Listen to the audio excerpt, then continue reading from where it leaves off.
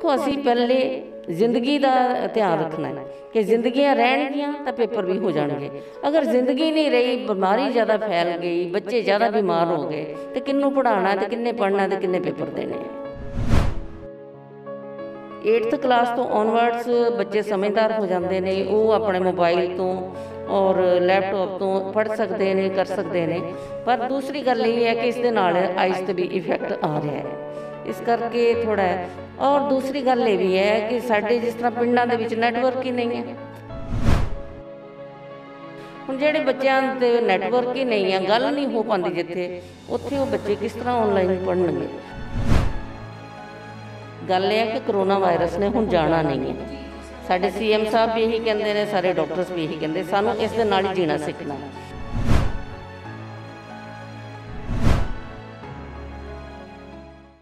School ਅਤੇ college ਨੂੰ ਵਿੱਦਿਆ ਦਾ ਮੰਦਿਰ ਕਿਹਾ ਜਾਂਦਾ ਹੈ। ਮਗਰ ਕਰੋਨਾ ਵਾਇਰਸ ਦੇ ਚਲਦਿਆਂ ਹੋਇਆਂ ਇਹ ਮੰਦਿਰ ਦੇ ਦਰਵਾਜ਼ੇ ਵੀ ਬੰਦ ਹੋ ਚੁੱਕੇ ਨੇ।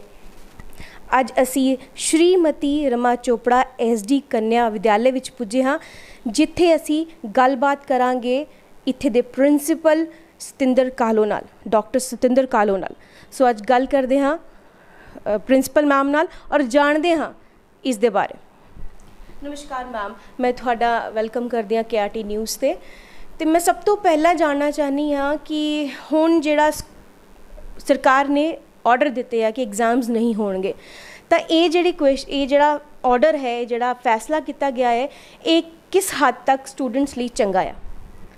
ਇਹ ਫੈਸਲਾ ਸਰਕਾਰ ਨੇ ਠੀਕ ਲਿਆ ਹੈ ਕਿਉਂਕਿ ਕਰੋਨਾ ਵਾਇਰਸ ਬਹੁਤ ਜ਼ਿਆਦਾ ਫੈਲ ਚੁੱਕਾ ਹੈ। ਜਦ ਵੀ ਬੱਚੇ ਇਕੱਠੇ ਹੋਣਗੇ, ਪੇਪਰ ਦੇਣਗੇ ਐਗਜ਼ਾਮ 'ਚ ਬੈਠਣਗੇ, ਇੱਕ ਬੱਚਾ ਵੀ ਇਨਫੈਕਟਡ ਹੋਏਗਾ ਤੇ ਉਸ ਦੇ ਨਾਲ ਬਾਕੀ ਬੱਚਿਆਂ ਦਾ ਇਨਫੈਕਟਡ ਹੋਣ ਦਾ ਡਰ ਰਹੇਗਾ। ਇਸ ਕਰਕੇ ਇਹ ਫੈਸਲੇ ਦਾ ਅਸੀਂ ਤਾਂ ਸਵਾਗਤ ਕਰਦੇ ਹਾਂ ਕਿ ਇਹ ਠੀਕ ਡਿਸੀਜਨ ਹੈ ਬਿਲਕੁਲ ਕਿ ਪੇਪਰ ਅਜੇ ਪੋਸੀਬਲ ਨਹੀਂ ਹੈ ਤਾਂ ਨਹੀਂ ਕਰਨੇ ਚਾਹੀਦੇ। ਜਦੋਂ ਪੋਸੀਬਲ ਹੋਏਗਾ ਪੇਪਰ ਹੋ ਜਾਣਗੇ। ਮੈਮ ਜੇ ਐਗਜ਼ਾਮਸ ਨਹੀਂ ਹੋਣਗੇ ਤਾਂ ਅਸੈਸਮੈਂਟ ਲਈ ਜਾਏਗੀ ਬੱਚਿਆਂ ਦੀ। ਤੇ ਇਹ ਅਸੈਸਮੈਂਟ ਕਿਆ ਇਹ ਡਿਸੀਜਨ ਠੀਕ ਰਹੇਗਾ? ਕਿਉਂਕਿ ਕਈ ਵਾਰੀ ਕੀ ਹੁੰਦਾ ਬੱਚਾ ਕਿਸੇ ਇਸ਼ੂ ਦੇ ਕਰਕੇ ਕਿਸੇ ਕਾਰਨ ਕਰਕੇ ਲਾਸਟ ਐਗਜ਼ਾਮ ਸਹੀ ਤਰ੍ਹਾਂ ਤਰੀਕੇ ਨਾਲ ਦੇ ਨਹੀਂ ਦੇ ਸਕਿਆ। ਤੇ ਕਿਆ ਇਹ ਮਤਲਬ ਪਾਰਸ਼ੈਲਿਟੀ ਨਹੀਂ ਹੋ ਜਾਏਗੀ? ਅਗਰ ਅਸੀਂ ਪੁਰਾਣੇ ਵਾਲੇ ਐਗਜ਼ਾਮਸ ਦੇ ਬੇਸਿਸ ਤੇ ਉਹਦੇ ਨੰਬਰ ਲਗਾਵਾਂਗੇ ਤਾਂ? ਨਹੀਂ ਫਿਲਹਾਲ ਤਾਂ ਰਿਜ਼ਲਟ ਕੁਛ ਨਾ ਕੁਛ ਦੇਣਾ ਹੈ ਨਾ।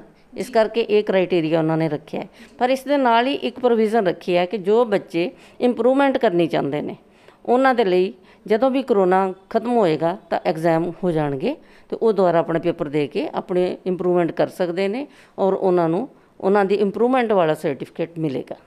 ਤੇ ਉਹਨਾਂ ਦੀ ਮਾਰਕ ਸ਼ੀਟ ਤੇ ਵੀ ਅਸਰ ਪਊਗਾ ਕਿ ਕਈ ਵਾਰੀ ਕੀ ਹੁੰਦਾ ਕਿ ਰੀ ਐਵਲੂਏਸ਼ਨ ਜਾਂ ਸੱਚ ਕਾਈਂਡ ਆਫ ਜਿਸ ਤਰ੍ਹਾਂ ਆਪਾਂ ਦੁਬਾਰਾ ਐਗਜ਼ਾਮਸ ਦਿੰਦੇ ਆ ਤੇ ਕਿਆ ਉਹਨਾਂ ਦੀ ਮਾਰਕ ਸ਼ੀਟ ਤੇ ਉਸ ਚੀਜ਼ ਦਾ ਇੰਫੈਕਟ ਇਫੈਕਟ ਪਵੇਗਾ? ਦੁਬਾਰਾ ਪੇਪਰ ਦੇਣਗੇ ਤੇ ਉਹ ਜੋ ਨੰਬਰ ਉਹਨਾਂ ਦੇ ਆਣਗੇ ਉਹੀ ਲੱਗਣਗੇ ਨਾ? ਜੀ। ਠੀਕ ਹੈ ਨਾ?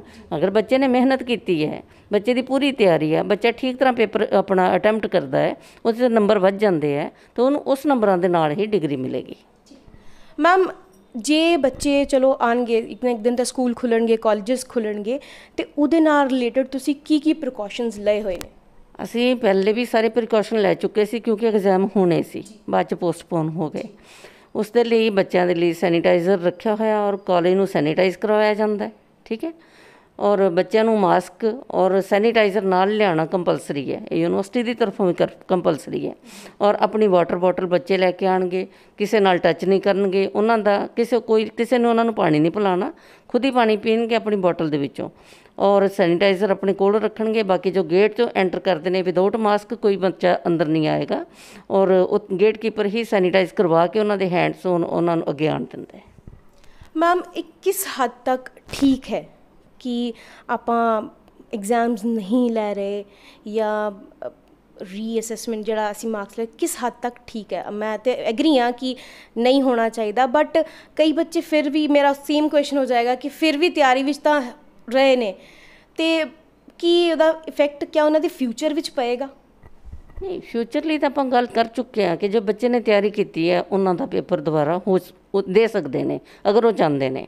ਬਾਕੀ ਦੇਖੋ, ਅਸੀਂ ਪਹਿਲੇ ਜ਼ਿੰਦਗੀ ਦਾ ਧਿਆਨ ਰੱਖਣਾ ਹੈ ਕਿ ਜ਼ਿੰਦਗੀਆਂ ਰਹਿਣਗੀਆਂ ਤਾਂ ਪੇਪਰ ਵੀ ਹੋ ਜਾਣਗੇ।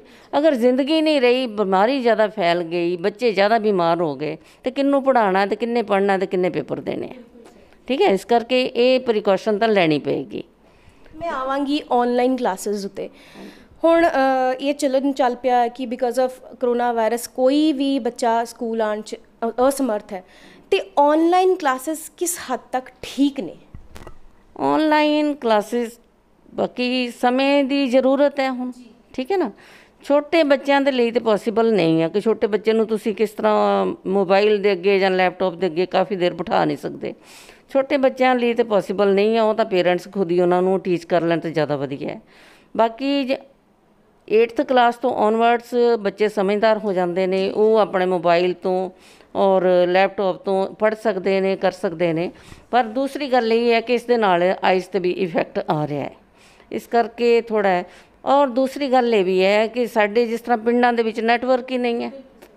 ਤੇ ਉੱਥੇ ਬੱਚਿਆਂ ਨੂੰ, ਸਾਡੇ ਤੇ ਬੱਚਿਆਂ ਨੂੰ ਕੋਈ ਇਨਫੋਰਮੇਸ਼ਨ ਦੇਣੀ ਵੀ ਸਾਡੇ ਲਈ ਇੱਕ ਪ੍ਰੋਬਲਮ ਹੁੰਦੀ ਹੈ। ਕਈ ਵਾਰੀ ਸਾਨੂੰ ਆਪਣੇ ਬੰਦੇ ਨੂੰ ਉਹਨਾਂ ਦੇ ਘਰ ਭੇਜਣਾ ਪੈਂਦਾ ਹੈ ਕਿ ਵੀ ਹੁਣ ਦੱਸੋ ਬੱਚੇ ਨੂੰ ਪੇਪਰ ਹੋ ਰਹੇ ਹੈ ਡੇਟ ਸ਼ੀਟ ਆ ਗਈ ਹੈ ਸਮਥਿੰਗ ਤੇ ਉਹ ਬੱਚੇ ਆਨਲਾਈਨ ਕੀ ਪੜਨਗੇ ਹੁਣ ਠੀਕ ਹੈ, ਸਾਡੇ ਵੀ ਟੀਚਰਸ ਨੇ ਕੋਸ਼ਿਸ਼ ਕੀਤੀ ਗਰੁੱਪ ਬਣਾਏ, WhatsApp ਤੇ, YouTube ਤੇ, ਸਭ ਤਰ੍ਹਾਂ ਕਰਕੇ ਆਪਣੇ ਲੈਕਚਰ ਪਾਉਂਦੇ ਰਹੇ ਨੇ।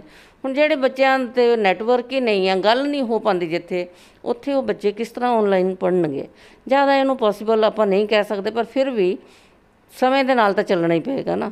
ਜੋ ਵੀ ਹੈ, ਜਿਸ ਤਰ੍ਹਾਂ ਵੀ ਅਸੀਂ ਬੱਚੇ ਨੂੰ ਐਜੂਕੇਟ ਕਰ ਸਕਦੇ ਹਾਂ, ਜੋ ਵੀ ਅਸੀਂ ਸੋਸ਼ਲ ਮੀਡੀਆ ਕਿਸ ਤਰ੍ਹਾਂ ਵੀ ਜੋ ਵੀ ਪ੍ਰੋਸੈਸ ਅਸੀਂ ਲਵਾਂਗੇ, ਜੋ ਵੀ ਪ੍ਰੋਸੀਜਰ ਸਾਡਾ ਹੋਏਗਾ, ਉਸ ਦੇ ਨਾਲ ਸਾਡੀ ਕੋਸ਼ਿਸ਼ ਇਹ ਰਹੇਗੀ ਕਿ ਬੱਚਿਆਂ ਤੱਕ ਉਹਨਾਂ ਦਾ ਮਟੀਰੀਅਲ ਉਹਨਾਂ ਦਾ ਸਿਲੇਬਸ ਉਹਨਾਂ ਦੇ ਨਾਲ ਇਨ ਟੱਚ ਰਹਿ ਕੇ ਪਹੁੰਚਾਇਆ ਜਾਏ। ਜਿਸ ਤਰ੍ਹਾਂ ਤੁਸੀਂ ਗੱਲ ਕੀਤੀ ਕਿ ਟੀਚਰਸ ਸਾਰਾ ਕੁਝ ਕਰ ਰਹੇ ਨੇ, ਮੈਂ ਜਾਣਨਾ ਚਾਹਾਂਗੀ ਕਿ ਟੀਚਰਸ ਤੇ ਕਿਸ ਹੱਦ ਤੱਕ ਇਹ ਜਿਹੜੀ ਹੈ ਇੱਕ ਸੱਚ ਕਾਈਂਡ ਆਫ ਪ੍ਰੋਬਲਮ ਹੀ ਹੈ ਕਿਉਂਕਿ ਘਰ ਦਾ ਕੰਮ ਵੀ ਕਰਨਾ at the same time lectures we prepare ਕਰਨੇ ਕਿ ਮਤਲਬ ਇਹ ਤੁਸੀਂ ਬੀਇੰਗ ਅ ਟੀਚਰ ਕਿਸ ਹੱਦ ਤੱਕ ਟੀਚਰਸ ਜਿਹੜੇ ਇਹਦੇ ਵਿੱਚ ਕੋਆਪਰੇਟ ਕਰ ਰਹੇ ਨੇ? ਇਹ ਕੋਈ ਪ੍ਰੋਬਲਮ ਨਹੀਂ ਹੈ ਟੀਚਰ ਕੋਆਪਰੇਟ ਕਰ ਰਹੇ ਨੇ। ਟੀਚਰ ਦੀ ਡਿਊਟੀ ਹੈ ਟੀਚ ਕਰਨਾ। ਘਰ ਦਾ ਕੰਮ ਤਾਂ ਵੈਸੇ ਵੀ ਕਰਦੇ ਆ। ਜਦੋਂ ਕਾਲਜ ਆਉਂਦੇ ਤਾਂ ਵੀ ਤਾਂ ਕੰਮ ਕਰਦੇ ਆ ਤੇ ਘਰ ਦਾ ਕੰਮ ਕਰਕੇ ਲੈਕਚਰ ਪ੍ਰਪੇਅਰ ਕਰਕੇ ਉਹ YouTube ਤੇ ਪਾ ਦਿੰਦੇ ਨੇ WhatsApp ਗਰੁੱਪ ਤੇ ਪਾ ਦਿੰਦੇ ਨੇ ਬੱਚਿਆਂ ਦੀ ਪ੍ਰੋਬਲਮ ਉਹਨਾਂ ਨਾਲ ਬੱਚਿਆਂ ਨੂੰ ਪੁੱਛ ਲੈਂਦੇ ਨੇ ਪ੍ਰੋਬਲਮ ਸ਼ੇਅਰ ਕਰਦੇ ਨੇ ਬੱਚੇ ਉਹਦਾ ਆਨਸਰ ਕਰਦੇ ਨੇ ਤਾਂ ਕੋਈ ਵੱਡੀ ਗੱਲ ਨਹੀਂ ਹੈ ਇਹ ਤਾਂ ਸਾਡੀ ਡਿਊਟੀ ਹੈ। ਸੇਮ ਅਸੀਂ ਟੈਸਟ ਜਦੋਂ ਅਸੀਂ ਲਈਦਾ ਤਾਂ ਸੇਮ ਉਹ ਪ੍ਰੋਸੈਸ ਟੈਸਟ ਵਗੈਰਾ ਵਿੱਚ ਵੀ ਚੱਲਦਾ ਹੈ marks and 올 these things test ਵਿੱਚ ਤਾਂ ਚੱਲਦਾ ਪਰ ਫਿਲਹਾਲ ਤਾਂ ਇਹ ਪੋਸੀਬਲ ਨਹੀਂ ਹੈ ਨਾ ਟੈਸਟ ਕਿਵੇਂ ਲੈ ਸਕਦੇ ਹੋ? ਇਹ ਆਨਲਾਈਨ ਟੈਸਟ ਵਗੈਰਾ ਦਾ ਥੋੜਾ ਜਿਹਾ ਪ੍ਰੋਬਲਮ ਹੋ ਜਾਂਦਾ ਹੈ। ਤੇ ਮੈਂ ਜਾਣਨਾ ਚਾਹਾਂਗੀ ਤੁਹਾਡੇ ਕੋਲ ਕਿ ਅ, ਜਿਹੜਾ ਕਰੋਨਾ ਵਾਇਰਸ ਜਿਹੜਾ ਹੈਗਾ ਇਹ ਕੋਈ ਚਾਂਸਸ ਹੈ ਕਿ ਇਸ ਸਾਲ ਸਕੂਲ ਖੁੱਲਣ ਦੇ ਚਾਂਸਸ ਤੁਹਾਨੂੰ ਲੱਗ ਰਹੇ ਨੇ? ਇਹ ਤਾਂ ਸਰਕਾਰ ਦੇਖੇਗੀ ਨਾ ਜਿਵੇਂ ਜਿਵੇਂ ਕੰਟਰੋਲ ਹੋ ਜਾਏਗਾ। ਦੇਖੋ ਇਹ ਕੰਟਰੋਲ ਤਾਂ ਹੋਣਾ ਹੀ ਹੈ ਬਾਕੀ ਗੱਲ ਇਹ ਹੈ ਕਿ ਕਰੋਨਾ ਵਾਇਰਸ ਨੇ ਹੁਣ ਜਾਣਾ ਨਹੀਂ ਹੈ। ਸਾਡੇ ਸੀਐਮ ਸਾਹਿਬ ਵੀ ਇਹੀ ਕਹਿੰਦੇ ਨੇ ਸਾਰੇ ਡਾਕਟਰਸ ਵੀ ਇਹੀ ਕਹਿੰਦੇ ਸਾਨੂੰ ਇਸ ਦੇ ਨਾਲ ਹੀ ਜੀਣਾ ਸਿੱਖਣਾ ਹੈ। ਤੇ ਜਦੋਂ ਅਸੀਂ ਪ੍ਰੀਕਾਸ਼ਨ ਲੈ ਕੇ ਚੱਲਾਂਗੇ ਤੇ ਮੇਰਾ ਖਿਆਲ ਹੌਲੀ ਹੌਲੀ ਹਰਡ ਇਮਿਊਨਿਟੀ ਵੀ ਬਣ ਜਾਏਗੀ ਤੇ ਸਾਰੇ ਫਿਰ ਕੰਮ ਚੱਲ ਪੈਣਗੇ ਫਿਰ ਸਕੂਲ ਕਾਲਜ ਵੀ ਖੁੱਲ ਜਾਣਗੇ। ਜਦੋਂ ਸਰਕਾਰ ਪੋਸੀਬਲ ਸਮਝੇਗੀ ਉਦੋਂ ਸਕੂਲ ਕਾਲਜ ਖੁੱਲੇਗੀ ਤੇ ਬਾਕੀ ਅਸੀਂ ਤਿਆਰ ਬੈਠੇ ਹਾਂ ਪੜ੍ਹਾਉਣ ਲਈ ਅਸੀਂ ਤਾਂ ਬੈਠੇ ਹੀ ਕਾਲਜ ਬਿਲਕੁਲ ਸਹੀ ਕਿ ਪ੍ਰੀਕਾਸ਼ਨਸ ਲਵਾਂਗੇ ਤਾਂ ਹੀ ਕੁਝ ਬਣੂਗਾ ਨਹੀਂ ਤੇ ਸਾਨੂੰ ਜੀਣਾ ਤੇ ਇਹਦੇ ਨਾਲ ਹੀ ਪੈਣਾ ਹੁਣ। ਤੇ ਤੁਸ ਮੈਂ ਤੁਸੀਂ ਕੀ ਬਾਤ ਸੁਜੈਸਟ ਕਰਨਾ ਚਾਹੋਗੇ ਲੋਕਾਂ ਨੂੰ ਰਿਗਾਰਡਿੰਗ ਕਰੋਨਾ ਵਾਇਰਸ ਕੀ ਕੀ ਪ੍ਰੀਕਾਸ਼ਨਸ ਇਹ ਲੈਣ? ਦੇਖੋ, ਜੋ ਵੀ ਘਰੋਂ ਨਿਕਲਦਾ ਹੈ ਨਾ ਉਸ ਨੂੰ ਸਭ ਤੋਂ ਪਹਿਲਾਂ ਤਾਂ ਮਾਸਕ ਪਹਿਨਣਾ ਚਾਹੀਦਾ ਹੈ। ਜਦੋਂ ਅਸੀਂ ਆਪਣੇ ਆਪ ਨੂੰ ਬਚਾਵਾਂਗੇ, ਤਾਂ ਹੀ ਅਸੀਂ ਦੂਸਰੇ ਦਾ ਵੀ ਬਚਾਅ ਕਰਾਂਗੇ। ਬਚਾਅ ਵਿੱਚ ਹੀ ਬਚਾਅ ਹੈ। ਇਸ ਕਰਕੇ ਸਾਨੂੰ ਕੇਅਰਫੁਲੀ ਚੱਲਣਾ ਚਾਹੀਦਾ, ਆਪਣੇ ਹੈਂਡ ਵਾਸ਼ ਕਰਦੇ ਰਹਿਣਾ ਚਾਹੀਦਾ ਹੈ। ਜ਼ਿਆਦਾ ਕਰਕੇ ਸਾਬਣ ਨਾਲ ਧੋਤੇ ਜਾਣ ਤੇ ਜ਼ਿਆਦਾ ਅੱਛੀ ਗੱਲ ਹੈ। ਬਾਕੀ ਸੈਨੀਟਾਈਜ਼ਰ ਅਸੀਂ ਐਮਰਜੈਂਸੀ ਨਾਲ ਰੱਖਿਆ, ਰੱਖਣਾ ਚਾਹੀਦਾ ਸਭ ਨੂੰ। ਜਿੱਥੇ ਵੀ ਜ਼ਰੂਰਤ ਪਏ, ਉਸ ਨਾਲ, ਬਾਕੀ ਮਾਸਕ ਮੂੰਹ ਤੋਂ ਨਹੀਂ ਉਤਰਨਾ ਚਾਹੀਦਾ, ਜਦੋਂ ਅਸੀਂ ਘਰੋਂ ਬਾਹਰ ਹੈ। ਔਰ ਘਰ ਜਾਂਦੇ ਆ ਤਾਂ ਉਹੀ ਸੇਮ ਆਪਣੇ ਸਾਰੇ ਕੱਪੜੇ ਕੁਪੜੇ ਚੇਂਜ ਕਰਕੇ, ਨਹਾ ਧੋ ਕੇ, ਬਚ, ਆਪਣੇ ਪਰਿ, ਬਾਕੀ ਫੈਮਿਲੀ ਮੈਂਬਰਸ ਨੂੰ ਬਾਅਦ ਚ ਹੀ ਮਿਲਣਾ ਚਾਹੀਦਾ ਹੈ। ਇਹ ਨਹੀਂ ਕਿ ਜਾਂਦੇ ਇਸ ਤੋਂ ਇੱਧਰ ਬੈਠੋ, ਉਧਰ ਬੈਠੋ ਤੇ ਕੁਝ ਵਾਇਰਸ ਨਾਲ ਆ ਗਿਆ ਤੇ ਘਰ ਦੇ ਵਿੱਚ ਵੀ ਫੈਲ ਜਾਏ। ਸਾਨੂੰ ਸਭ ਨੂੰ ਹੀ ਮਿਲ ਜੁਲ ਕੇ ਇਸ ਬਿਮਾਰੀ ਦੇ ਨਾਲ ਲੜਨਾ ਹੈ। ਇਸ ਨੂੰ ਇੱਥੋਂ ਦੂਰ ਵੀ ਕਰਨਾ ਹੈ। ਇਹ ਪ੍ਰੀਕਾਸ਼ਨ ਹੀ ਲਵਾਂਗੇ ਤੇ ਤਾਂ ਹੀ ਦੂਰ ਹੋਏਗੀ ਅਦਰਵਾਈਜ਼ ਤੇ ਫਿਰ ਅਸੀਂ ਫਸ ਸਕਦੇ ਹਾਂ। ਤੁਸੀਂ ਸਟੂਡੈਂਟਸ ਨੂੰ ਐਜੂਕੇਸ਼ਨ ਰਿਲੇਟਡ ਕੀ ਐਡਵਾਈਸ ਕਰਨਾ ਚਾਹੋਗੇ? ਸਟੂਡੈਂਟਸ ਨੂੰ ਵੀ ਇਹੀ ਕਹਿੰਦੇ ਕਿ ਆਪਣੇ ਸਟੂਡੈਂਟਸ ਤੋਂ ਪੜ੍ਹੇ ਲਿਖੇ ਆ।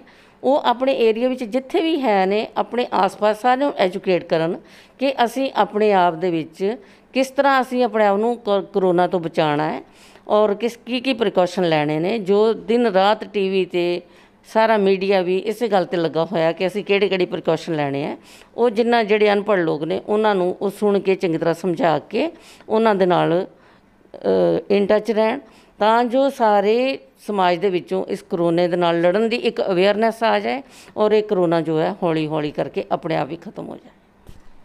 ਇਹ ਸੀਗੇ ਡਾਕਟਰ ਸਤਿੰਦਰ ਕਾਲੋ ਜਿਨ੍ਹਾਂ ਨੇ ਸਾਨੂੰ ਬਹੁਤ ਵਧੀਆ ਇਨਫੋਰਮੇਸ਼ਨ ਦਿੱਤੀ ਹੈ regarding education and exams so ਦੇਖਦੇ ਰਹੋ ਕੇਆਰਟੀ ਨਿਊਜ਼